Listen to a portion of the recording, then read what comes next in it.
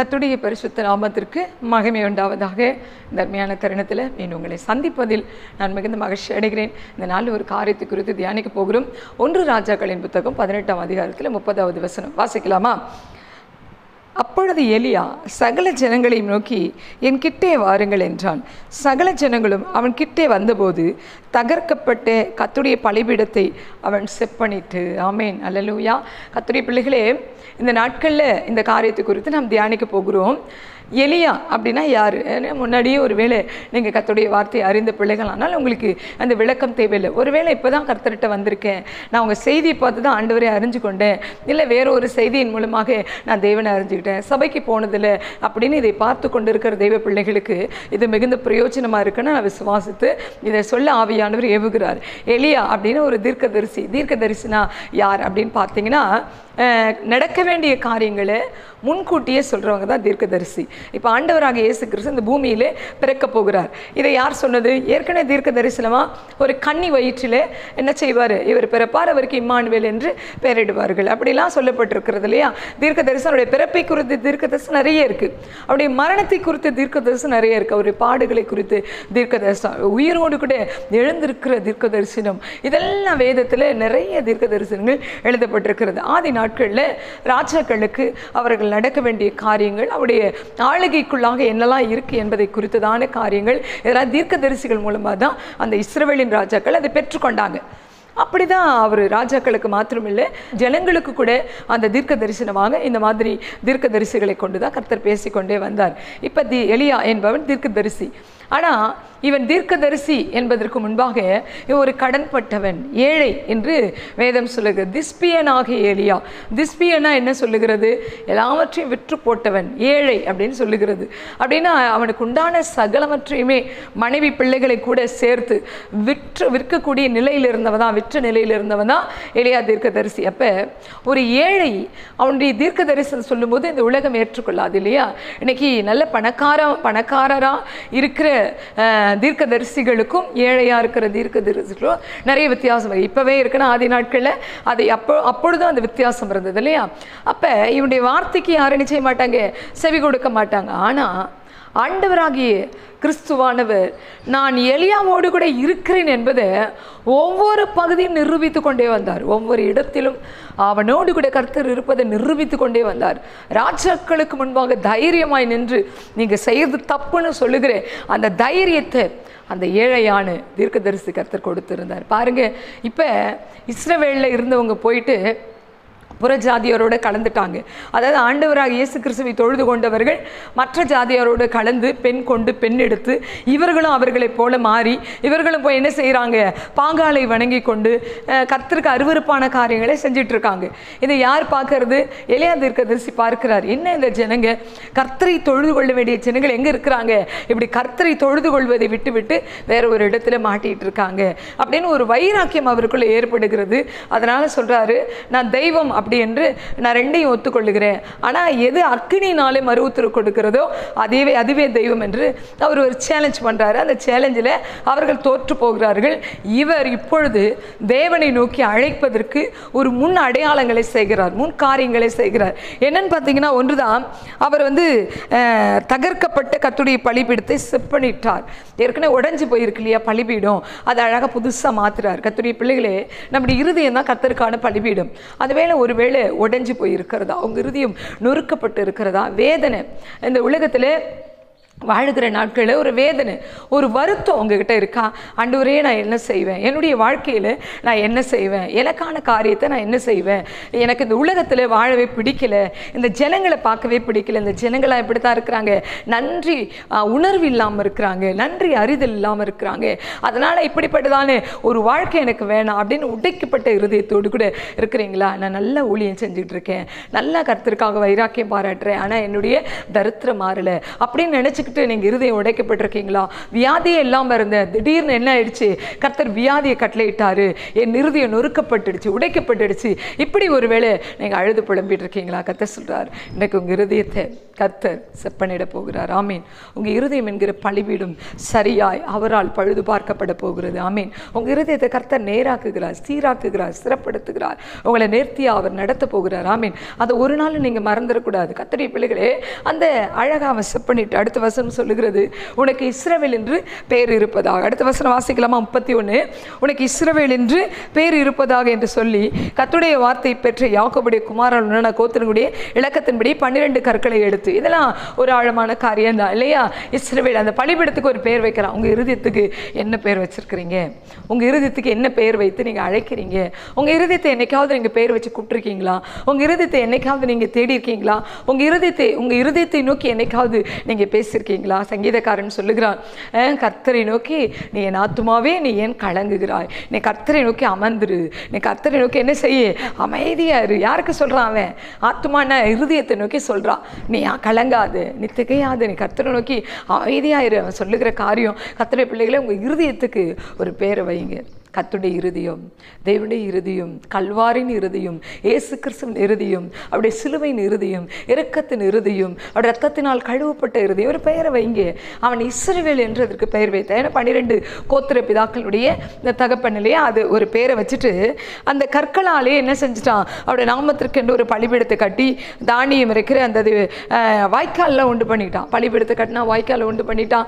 பன்னிரெண்டு குடம் நிறைய தண்ணி கொண்டு வந்து ஊற்றினான் எல்லாத்தையும் செஞ்சு செஞ்சுட்டு கத்தரை நோக்கி பார்த்தா ஆமே நல்லலூயா கத்தரி பிள்ளைகளை இன்றைக்கு நீங்களும் நானும் அந்த இருதயத்தை கழுவ வேண்டும் கத்த சொல்லுகிறார்.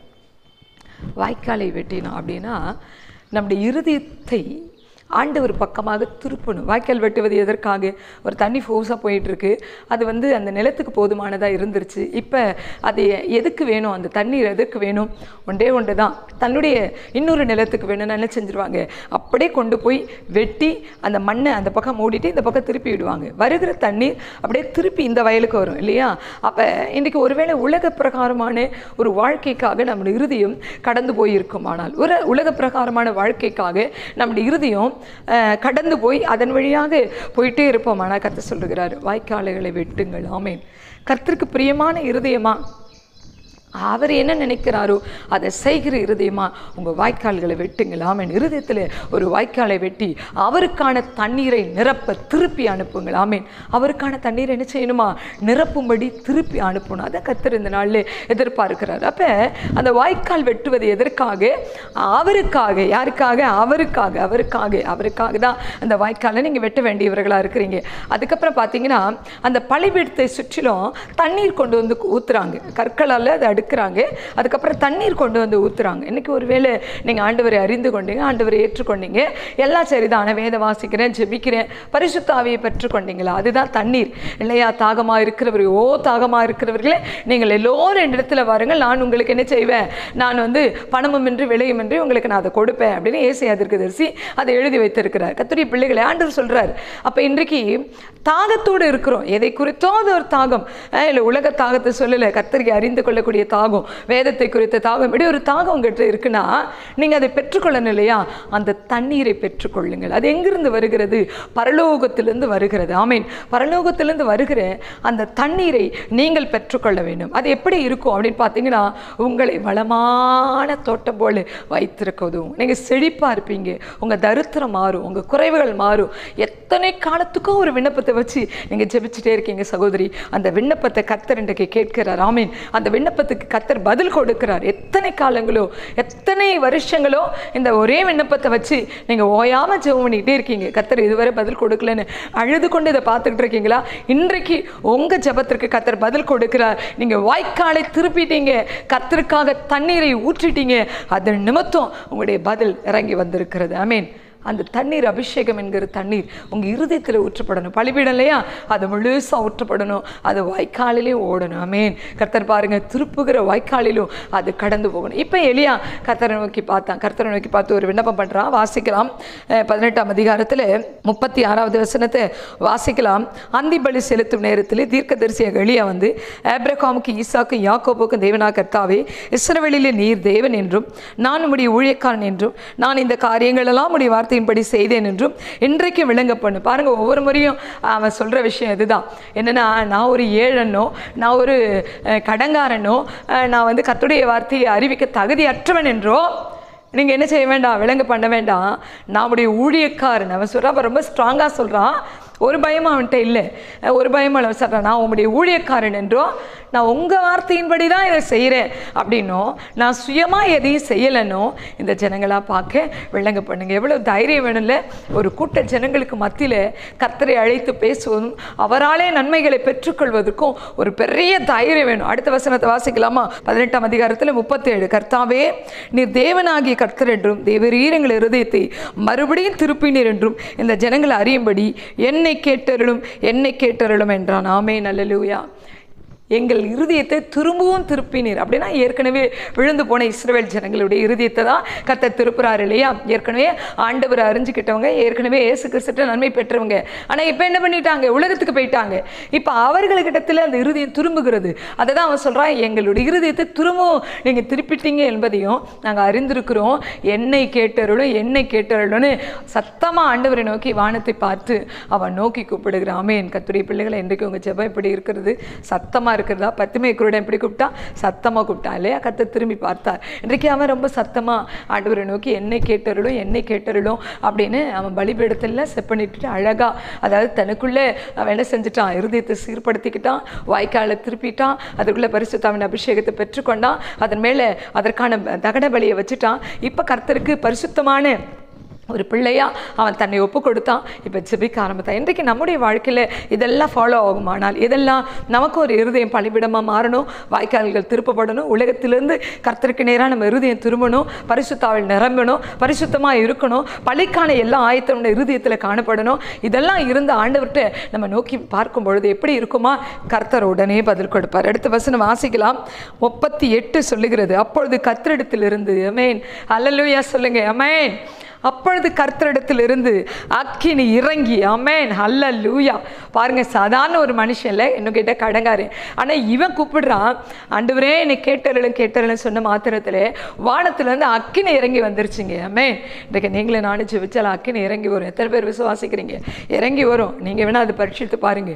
அக்கினி இறங்கி வரும். அக்கினி அபிஷேகத்தை உங்களால் பெற்றுக்கொள்ள முடியும். இது ஒரு இடத்துக்கு தான் போய் பெற்றுக்கொள்ள வேண்டும் என்று அவசியம் இல்லை. நீங்கள் தனி அறையில் நீங்கள் அப்படியே கையை உயர்த்தி ஆண்டவர் சமூகத்தில் மணிக்கணக்கில் இல்லை நீங்கள் முழங்கால் படிட்டு ஆரம்பித்த உடனே ஆண்டவர் உங்கள் மேலே இறங்கி வர்றார். எப்பொழுது? உங்கள் இறுதியும் சுத்தமாக இருந்தால் உங்கள் இறுதியம் சுத்தமாக்கப்பட்டிருந்தா அதில் ஆண்டவர் இறங்கி வருவார். கத்திரி பிள்ளையில் அக்கினை இறங்கி வந்து அந்த சர்வாங்க தகன பலியும் விறகுகளையும் கற்களையும் மண்ணையும் பட்சித்து வாக்காளர் நீரையும் நக்கி போட்டது. எவ்ரி திங் ஃபினிஷ்ட் இல்லையா? எல்லாத்தையும் நக்கி எல்லாத்தையும் ஃபினிஷ் பண்ணிடுச்சு. அந்த பலி இருக்கிற மண் வாய்க்கால ஓடுற நீர் எல்லாத்தையும் தீ என்ன செய்யிடுச்சு? நக்கி போட்டது என்று வேத்தில் வாசிக்கிறோம். கத்துடைய பிள்ளைகள் இன்றைக்கு நீங்களும் நானும் கத்துடைய சமூகத்தில் செப்பனிடப்பட்ட இருதயத்தோடு சுத்தமாக்கப்பட்ட இருதயத்தோடு இருப்போமானால் உங்கள் பலி ஏற்றுக்கொள்ளப்படும். உங்கள் காணிக்கையும் ஏற்றுக்கொள்ளப்படும். உங்கள் ஜெபங்களை ஏற்றுக்கொள்ளப்படும். அதனால் இந்த நாட்களில் கவலைப்படாமல் இருங்க. உங்கள் வாழ்க்கை நிச்சயமாக நன்மை செய்வார். அந்த நன்மை செய்கிற தேவனுக்கு நன்றி செலுத்தி ஜெபிக்கலாம்.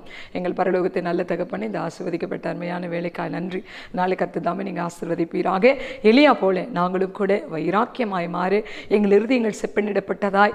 தேவனுக்கு தேவனுடைய வார்த்தைக்கு நேராய் வாய்க்காலை திருப்புறவங்களா. அவருடைய வல்லமைக்கு நேராக எங்கள் இருதயங்களை திருப்புறவங்களா.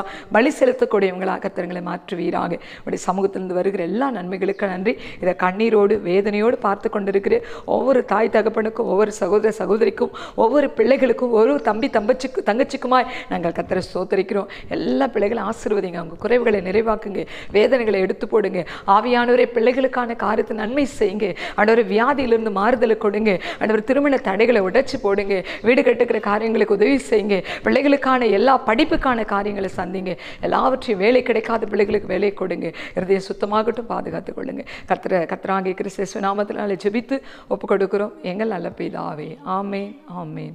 God bless you all